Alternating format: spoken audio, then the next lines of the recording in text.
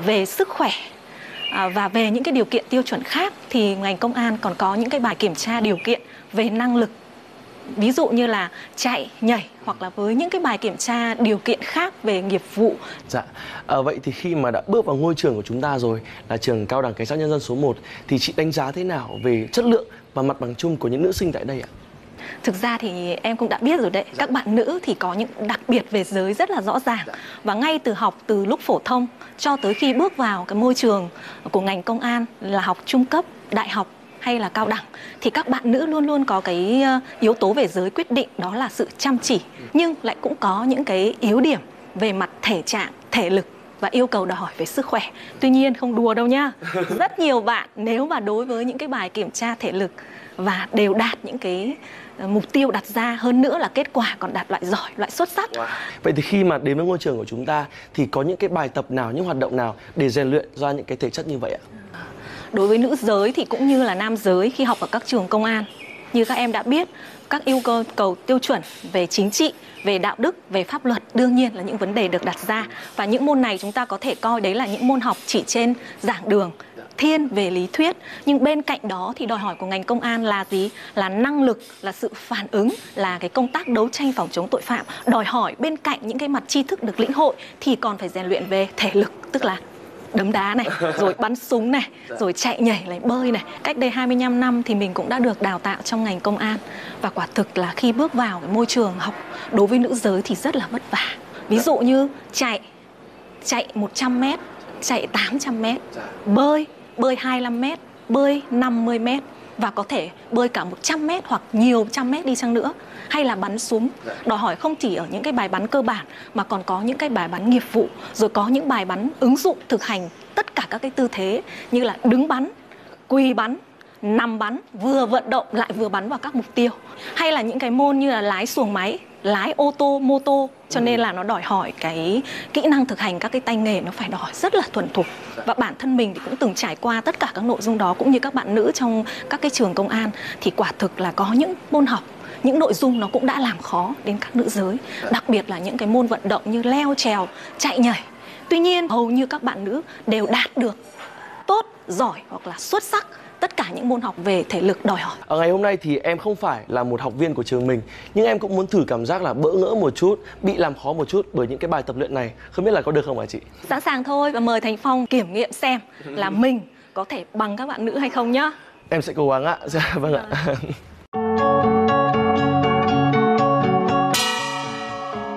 Giờ là lúc chiêm ngưỡng vẻ đẹp mạnh mẽ của những bông hoa thép tại một phòng tập võ rất khắc nghiệt.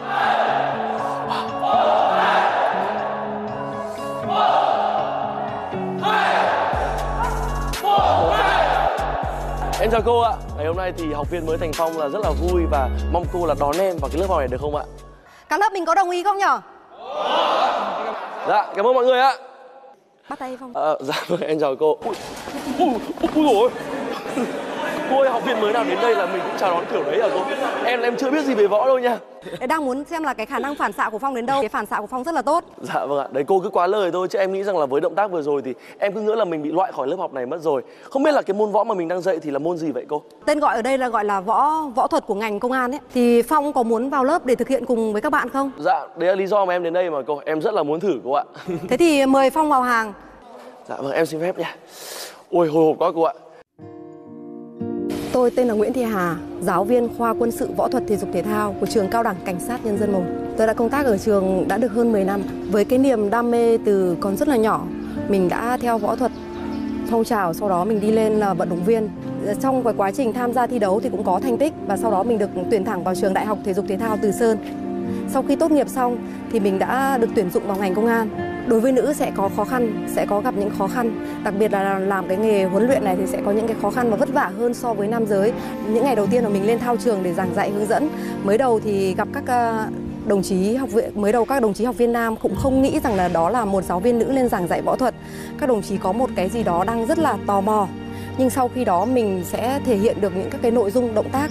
Các đồng chí hết sức là thán phục từ đó mình cũng thấy tự tin hơn trong cái quá trình giảng dạy Chân phải làm trụ, chân trái bước về trước.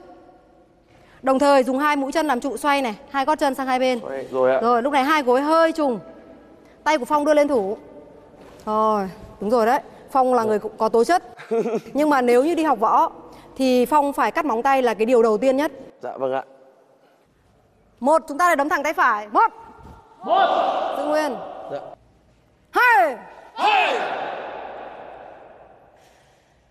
Một. Một. Hai. Hai. Ba, chúng ta đấm hai tay. Một. Một. Hai.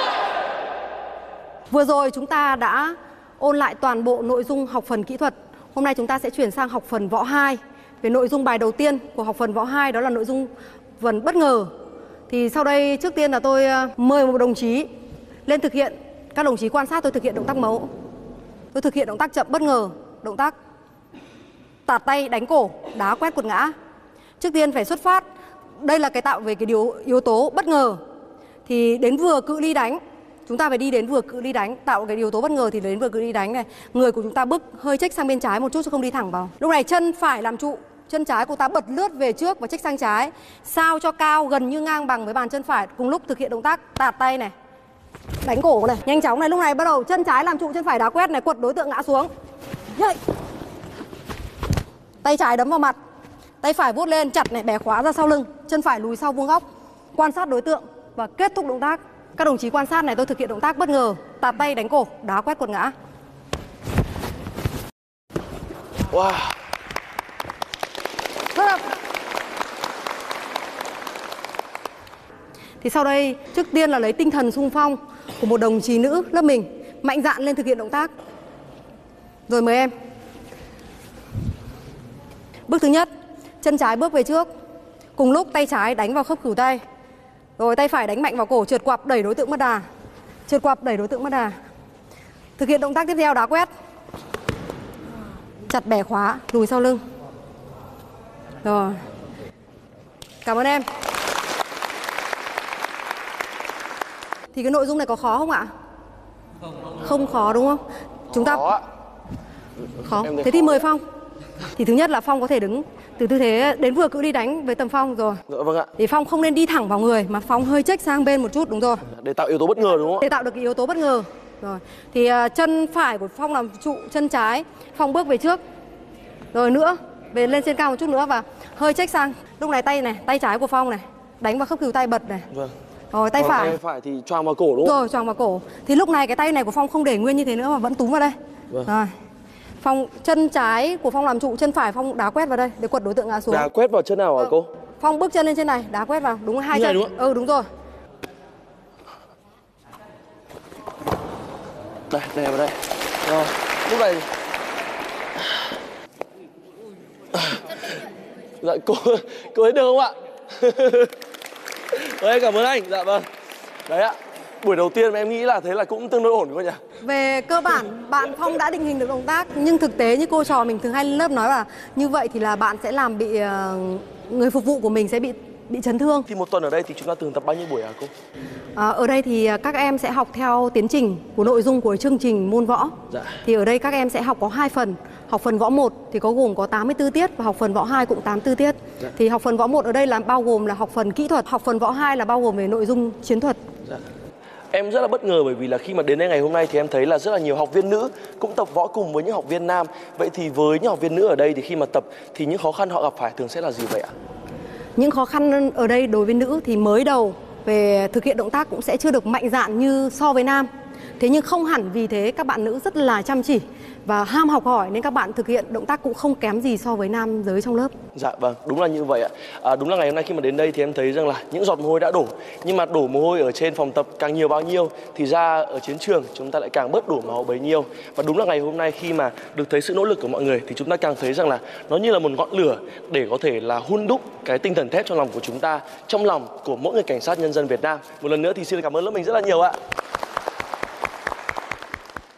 Chỉ mới tham gia một buổi tập luyện thực tế thôi mà tôi đã cảm thấy rất là áp lực và vất vả rồi. Vậy còn với những nữ học viên ở đây thì sao? Ngay bây giờ hãy cùng trò chuyện với ba bông hoa hồng rất là mạnh mẽ và đầy kiên trì ở đây. Xin chào các bạn. Không biết rằng là khi mà đến với trường cao đẳng cảnh sát nhân dân 1 ý thì cái việc gì khiến các bạn cảm thấy bỡ ngỡ và cũng là bất ngờ nhất? Điều em vẫn bỡ ngỡ nhất ở đây đó là khi vào trường thì trường có gần 2.000 học viên nhưng mà chỉ có mười mấy nữ bọn em thôi Nên là em cũng khá là e ngại trong việc ờ, sinh hoạt ạ à, nhắc về việc sinh hoạt thì thường khi mà chúng ta tham gia vào môi trường quân ngũ này thì chắc chắn là cái việc mà dậy sớm cũng như là tuân thủ nhiều quy định chắc chắn là phải có vậy thì nó sẽ khác gì với cuộc sống hàng ngày của bạn à, bọn em sẽ được uh, sống nền nếp hơn cụ thể như là chúng em sẽ dậy sớm hơn như là dậy lúc 5 giờ 15 để tập thể dục ừ. và sau đó thì uh, vệ sinh cá nhân và vệ sinh khu vực phân công trước đây ở nhà thì các em có phải là dậy vào cái khoảng thời gian đấy hay là phải làm những công việc như vậy không? À, bọn em cũng sẽ dậy sớm nhưng mà sẽ không uh, sẽ không dậy sớm như ở đây ạ. Vậy thì là chúng ta mất tầm bao nhiêu lâu để làm quen với cả cái nhịp sống ở đây? Trước đó thì bọn em đã được học tập và sinh sống ở trường văn hóa thì bọn em đã quen dần cho nên là khi mà vào trường uh, cao đẳng cảnh sát nhân dân 1 thì bọn em cũng không khó để có thể thích nghi cho nên là tầm khoảng uh, một hai tuần nào đó thì bọn em đã thích nghi và quen dần. Chỉ cần một hai tuần là mình đã thích nghi được wow. À, và khi mà nhắc về cái môi trường của chúng ta thì ngoài việc là sinh hoạt điều độ hơn nền nếp hơn thì chúng ta cũng cần phải rèn luyện thể chất. Vậy thì những hoạt động đó thì là những hoạt động gì vậy? Ở đây thì bọn em ờ, được tập thể dục vào buổi sáng và uh, trên lớp thì uh, tham gia các môn học võ và bắn súng. Ừ. thì vận động rất là mạnh ở ngoài trời nên là cũng rất là khó khăn. Có thể thấy rằng lịch lịch trình của mình thì rất là bận rộn và khi mà tập ngoài thao trường nắng hay là mưa thì chúng ta vẫn phải chăm chỉ tập luyện. Với những cô gái ở đây thì có bao giờ các em là sợ là mình tập ngoài nắng ấy, mình bị sạm da, đen da thì mình sẽ bị xấu đi không? Lo không? Thứ nhất là mình phải đối mặt trước chấp nhận sau đó thì mình chưa nhiều bọn em sẽ bôi kem chống nắng chẳng hạn. Anh thấy ở bên này là bạn dung này da vẫn còn trắng lắm. Đó giữ gìn rất tốt đúng không nào? Bình thường khi mình tập võ xong ấy có bao giờ ngày nào mình về mình cảm thấy là người mình như nhũn ra không? Mình cảm thấy rất là mệt mỏi không? Có những lúc như thế vừa mệt mỏi vừa tập luyện mệt mỏi rồi vừa nhớ nhà nữa. Nên là có những lúc bọn em phát khóc ra. Thầy cô như là những người cha người mẹ thứ hai ở cái môi trường này bọn em ờ, đi xa vòng tay của cha mẹ từ rất là sớm, từ ờ, hồi bọn em học cấp 3 và khi mà bước vào trường được thầy cô đón chào và chỉ bảo rất tận tình những từ học tập, rèn luyện trên lớp, lẫn cả nội vụ và phòng ở nữa, nên là bọn em cũng rất là vui và quý thầy cô nữa. Chúng ta có thể sống xa nhà, nhưng chúng ta có thêm một gia đình mới ngay tại đây. Đó thực sự là một điều rất là quan trọng và xin được chúc mừng các bạn vì điều đó.